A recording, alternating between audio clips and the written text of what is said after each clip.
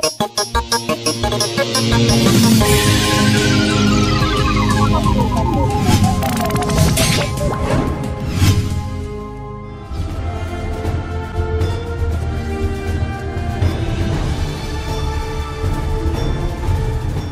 jerks. Welcome back to the show. So, some of you are wondering what's going on. Well, I'm taking your advice. I asked some questions, I got some answers, and we're following through with some of the stuff you've been saying. So, we're going back.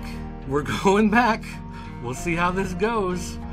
Um, so, first of all, I want to give a shout out to Bunked Belts for making this awesome uh, title belt here. I am the champion now of that new toy smell. Uh, they did a fantastic job on this. This is a I guess they make custom belts. Like that's their thing is they make custom belts, and so uh, they were nice enough to send one of these along. It's fantastic. You can find them on Etsy. It's Bunked Belts. I will leave a link down in the description.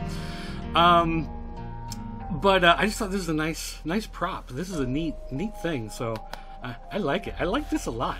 Um, all right, so some of you are wondering where's the full episode. We were that's what we've been doing is posting full episodes of the old archives of that new toy smell. Well, as it turns out, when we got through that last chunk of uh, of episodes, I think we got was episodes uh, like 17 through 30. That was the last chunk I had of full, complete episodes of that entire uh, run. Now I still have some complete episodes like further on down the line. In fact, I think the next one I have complete is episode 38.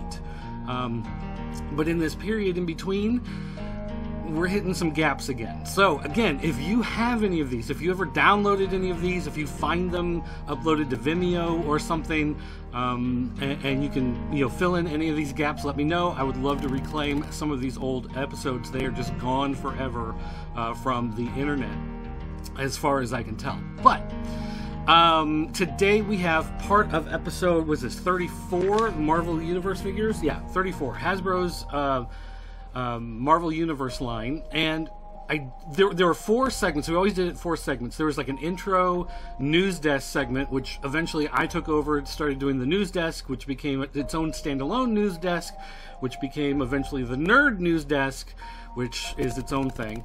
Um, then second was the video review. Then we had the round table talking about the toys, playing with the toys, whatever. Uh, a couple of us sitting around, and then finally the fan corner, uh, where we uh, talked about the feedback that you would send in, the questions you would ask, the photos you would send in, things like that. I don't have sections one and four, but I was able to reclaim uh, section two. We actually had on the Pop Culture Network channel as a standalone review uh, and then section three, I was able to recover from a hard drive. So, sections two and three I present today, where we look at the video review of uh, the uh, Marvel Universe figures as they looked back in 2010, uh, and then the discussion that we have with the figures of uh, myself and Devall. And this actually marks the first time that Devall attempted to unmask me. So, the first uh, supposed unmasking happens. He actually did unmask me, technically speaking. So the first ever unmasking of dirt happens in this episode. There's a renaissance in three and three quarter inch figures these days. From the Infinite Heroes to the Iron Man 2 to these, the Marvel Universe line of figures from Hasbro. Now, they have had a few cosmetic changes to the packaging along the way, and there are several different types of articulation depending on the character. There are some great figures involved in this line. They've had mail away figures, They've had Comic Con exclusives, store exclusives for Toys R Us and Walmart. There have even been these Secret Wars 2 packs, which include a comic book from the Secret Wars miniseries, as well as two figures. I love these things, but of course, I'm a huge comic book nerd. But if you look at the characters that are available in this line, you will find that just about every character you can think of, well, okay, not Paste Pot Pete, but otherwise, every character has been given an opportunity to appear in a smaller than 4 inch figure. Now, when you buy one of these, you actually get quite a bit in the package. You get your figure and any accessories they come with. You get the Fury file or Hammer dossier. You get their mutant registration card or a secret file if, you know, they're one of don't register like they're supposed to. And you get a code which unlocks the Fury file online. Starting with the hammer line, which shows Norman Osborn on the packaging, you also get one of these figure stands, which is a great addition. Now, some of these characters you can see are just repaints, like Daredevil, for instance. You can get his classic yellow and brown costume or his modern day red one, which is great because as a comic book nerd, I really like having the ability to buy either one. There's also Miss Marvel. You've got her classic 70s disco inspired look with that awesome feathered haircut, and then you've got the new version of Miss Marvel. So it's not simply a repaint of the original character, it's actually a new sculpt of the character. Now, take a look at a character like Iron Fist. When they originally released them, you got the figure on the left, which is a great looking figure for Iron Fist, but there's one small problem there's no fist. So they re released a second version of him, and this one does have the fist. You can see his chest symbol is slightly modified, but also if you look at the body of the character, it is a different sculpt, or at least the articulation's different. So it's a different body type with that same head. So it is nice that if you went out and rebought the figure, you were actually getting a, well, a different figure, just with that same yellow and green paint job. Now, another figure who's gotten quite a few different versions is the Hulk. There's the dark green version that comes in your Secret Wars 2 pack. There's your modern green version. If you're into the Red Hulk, and I'm not really sure who you are if you are into the Red Hulk, there's the Red Hulk version here. And for those of you who remember the days of the classic Gray Hulk, they do have the Gray Hulk. Now, if you look at them, you'll see that they're actually two different body types. Uh, you can see the dark green Hulk and the red Hulk share the same body, whereas the modern Hulk and the gray Hulk share the same body. And modern Hulk and gray Hulk have the same heads, but your classic Secret Wars version of Hulk and your red Hulk do have different head sculpts to them. So it really is again nice to see that if you're rebuying the same character, you're actually getting some different tooling. Now you might think a character like Captain America hasn't changed much over the years, but they found a way to make four versions of him, and you know what? They all make sense. You've got your classic Captain America and your black and white Captain America, the black and white one being your San Diego Comic Con exclusive. You also have this ultimate version of Captain America from the Ultimate Universe, which, to be honest, I never thought they'd make a figure based off the Ultimate Universe, and so that was just plain awesome. Then there's also this modern Captain America with the Winter Soldier Bucky Barnes version of Captain America, with his handgun and his glitter uniform. Now, whether or not you're a fan of the new Captain America, the old Captain America, new Coke, old Coke, Crystal Pepsi, whatever, there's something for you here but not quite as many as our next figure Spider Man. He's one of the most popular characters they've ever done in Marvel Comics, so it only makes sense that, well, there'd be a whole lot of Spider Man characters. From his, uh, let's see, we've got a blue and red, there's the darker blue and red, there's the uh, blue with white highlights in red, there's that really dark and red. You've got the uh, black uniform, you've got the black uniform with some highlights to it. You also have that Age of Apocalypse alternate universe version. So, if you're a fan of Spider Man, they got you covered too. Of course, if you take a look around the toy market today, you'll see that there's also a new Spider Man line, which can add this version of Spider Man. You also get this, I don't know, night stealth mode Spider Man and dive attack scuba gear. Sp- well, you know, let's just say if you're into Spider Man, they got something for you. Iron Man is pretty similar. There's a lot of different versions of Iron Man, although, to be fair, there have been a lot of different versions of Iron Man's armor over the years. So, whether or not you like his classic armor, his new armor, you want the stealth mode or the night mode armor, if you want the Secret Wars version that doesn't have the shiny uh, metallic tint to it, they've got you covered on that as well. Of course, again, there are other Iron Man lines out there. If you want to get this Iron Mated one with the big rockets, these ones based off his different movie sculpts, well, they've got that too. But keeping in mind that there's tons of figures out there, I think it's fair to say that if you're a Marvel Universe fan, you really can't ignore this line. There are so many figures and so many different sculpts available that it's very easy to look at these toys and just simply say, "Make mine Marvel."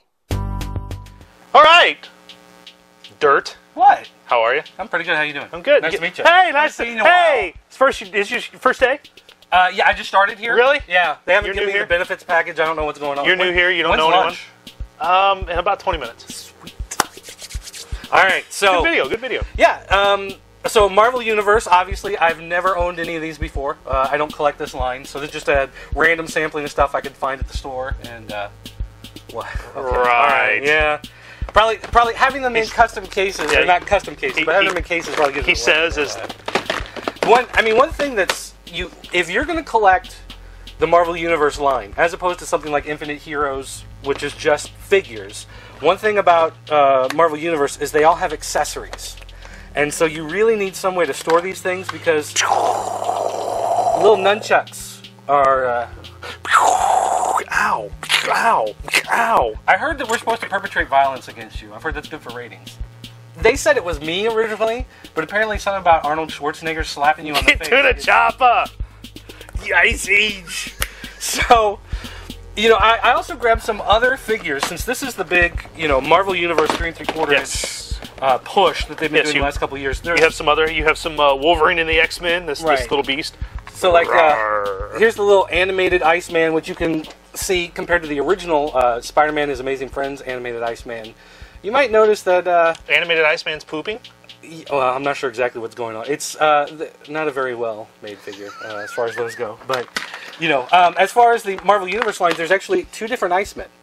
So uh, you know, you've got your comic book based version and your animated style version, and they are extremely different. You can tell that they did not just you know say, "Hey, we're gonna just do the same guy, paint him blue." They Don't actually, let don't uh, let Pixel Dan see that one. He might steal it. He's got an infatuation with Oh. those types of Where figures. is, is he here? Or did he I haven't seen off? him yet. Okay, good.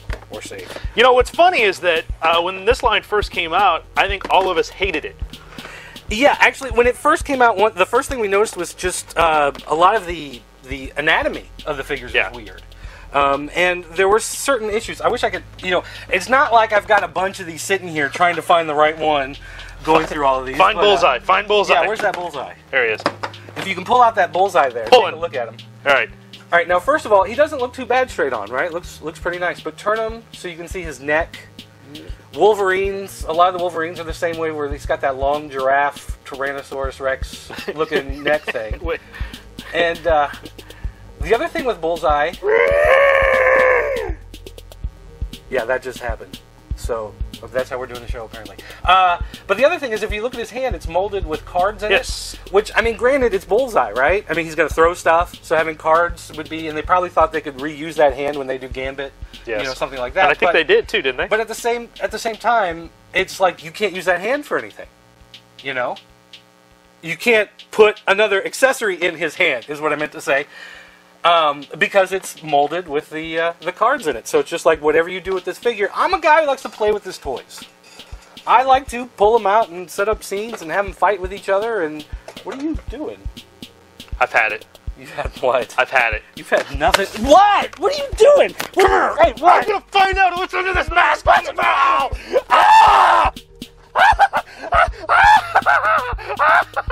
I got it. I got it. I got it. I got it.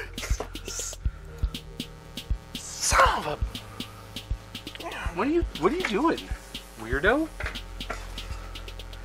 So, oh, Devall is sad.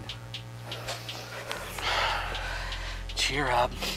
I'm actually what you call a never nude, kind of like the guy on uh, Arrested Development. So that's why we do this the way we do. Know. Anyway, So anyway, yeah, but a lot of these figures are really nice. Have some really nice accessories. We're just gonna go back to the show like that never happened. A little awkward. Move things along. So I like Thing. But I like that there's a. Oh God. I like that there's a light blue and a dark blue thing, but this this dark blue has white stripes and this one has black boots. you know some nice stuff too. Also, like Hobgoblin comes with his little Brother. little uh, jet here Oh. accessory. That, woo! I'm sorry, I've got thing on thing action. That's gross. Aren't there laws? In, never mind. So uh, or this Green Goblin. another thing I really like about these is that for me, I'm one of those guys who likes alternate styles of costumes. And one thing we really looked at in that video was all the different variations on these characters. You've got So, like, uh, yeah, Ms. Marvel. Ms. Marvel and Ms. Marvel. Take a guy like Iron Man, who's had 9,000 different pieces of armor. You've got a version of him in there. You've got uh, this silver Centurion version of Iron Man. You've got uh, all these different. Here's the classic. When I started buying comics, because I'm a little older than some of those guys, this is the style that he was wearing that I was familiar with. And so to get one of these is actually a big deal because I was afraid this was the only one they would ever make. But they didn't just make that one, they also made this one, which was, you know, really cool that they, they had that one. And then of course they, they also had this one, you know, out there, so that was pretty cool. So My favorite is is Awesome Deadpool and Poop Deadpool. Now those are both from the Wolverine line. Now they're in the same scale as the Marvel Universe, and they fit just fine with them. Um, one thing though to point out is this is the old style package, and if you look at this style package, this is the Nick Fury Shield package, and um, this is what you used to see when they first came Yes. out in all the stores. If you read the comics at all, and if you're someone buying these toys, you probably are, then uh, you know that Norman Osborn took over Shield and turned it into Hammer. So they actually changed the packaging to match the current storylines going on in the comic, which for me, as a big comic nerd, dork, geek, this was a really neat thing that they did because I just love, you know, having that, that different packaging that fits with the storyline, fits with the characters because then it makes Yeah, sense. you know. Absolutely, it's very cool. Um, and then, of course, speaking of Shield, we do have the Nick Fury exclusive here. This was the one you had to sign up for Marvel's digital comics, which, if you've ever listened to our podcast for It Figures, those early episodes, we lamented this. But if you're like me and you have parents trying to figure out what to get you for Christmas, you just say, hey, sign me up for a Marvel digital comics subscription. I'll never use it, but at least I get the free toy out of the box. Exactly. So, so that was pretty nifty there. And then, of course, some of these Secret Wars two packs. You've seen these. Mm-hmm. Which Come with now a, all, all 12 are out. Yep, come with the comic book, come with two of the figures. And so this is a great way, like, again, big comic book nerd. These are Marvel Comics properties. So you're going to put a comic book in the box. That's just that's tremendous for me. And even though I've you know I've got a couple copies of it anyway, and I've read it a million times, a couple. Uh, another copy never hurts. So It's true. Yeah, overall, this I mean, it's just a great line, articulation-wise. Uh, the the sculpting's gotten much better as it's gone on from those first few figures with the Punisher with a huge head. and Now they've fixed their problems, fixed their And- issues. And even with the new packaging with the um, the the Hammer series, they put figure stands in them. and the figure great. stands are nice. They tell you which uh, number the character is. Like the Spider-Man is number one, and has his name on the stand. which is cool. So when you actually display them, because again, if you're a big uh, dork, nerd, geek type uh, like me who likes to display figures, it's great to have those stands. Exactly. It's awesome. Well, I think that wraps it up for our look at the Marvel Universe. Already? figures. Yeah, yeah, we're done. I, can- I, I packed all this stuff up and brought it over, and we're already out of time. Um, well, you did a great job. You did. You did a good job. It's it's good to be here with you. It's good to sit here with you. Let me kick it over to uh, myself. I'll kick it to myself. It's gonna be crazy and Pixel Dan at the fan corner. So can I keep playing with this stuff? No, yeah, go ahead. Yeah, we'll be over there. You do what you want. All Just right. no putting them in weird places. Namor comes for Sue Storm.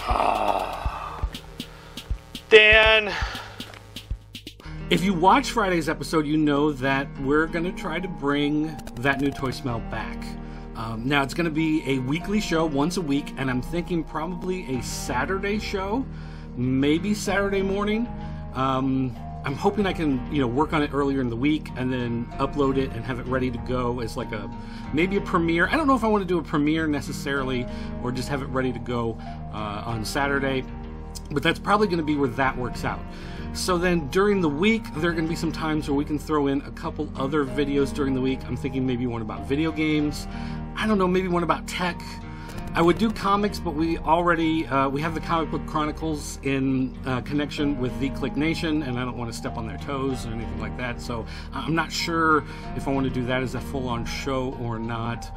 Um, but anyway, regardless, we're going to do some other things there. But uh, one of the things I asked was, uh, you know, polls, uh, getting feedback from you guys, uh, answering questions, stuff like that.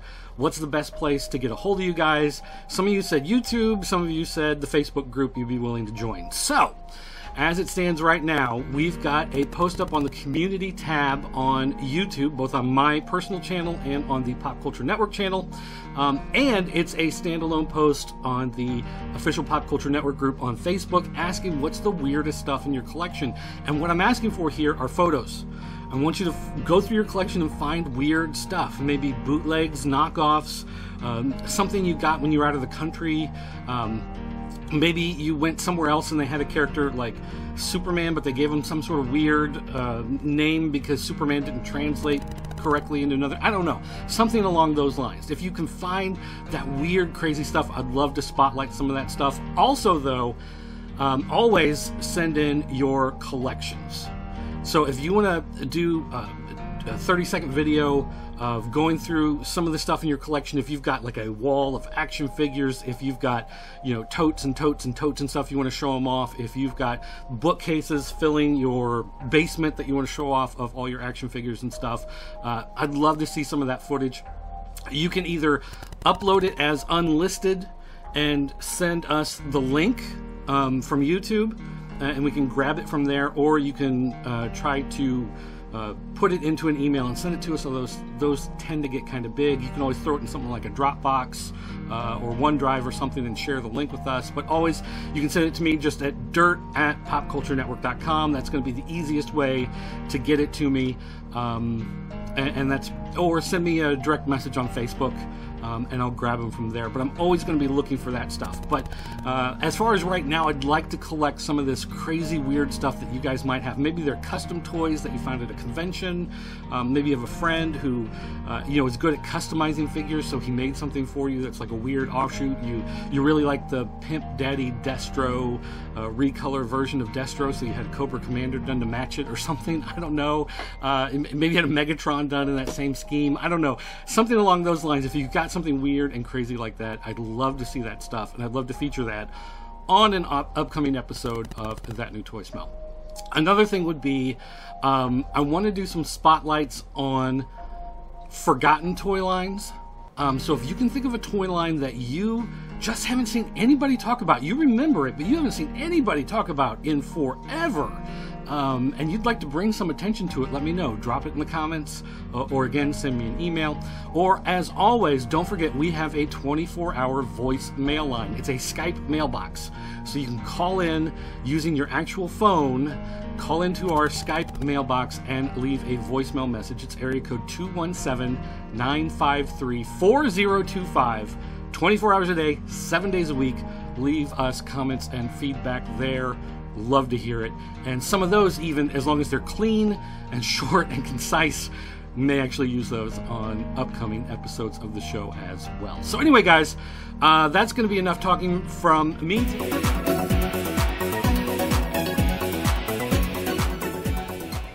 Hello and welcome to another edition of Campus Update. Many exciting things taking place at our school today. For more information on that, we go to our live report. Hello? Hello? Uh, I was trying to Skype out to Sween Holic. Hello? Um, wrong number? Sorry. That is some cool stuff. Well, that's all the time we have for today. Thanks for joining us for this edition of Campus Update. I'm Mark S. Allen. We'll see you next time.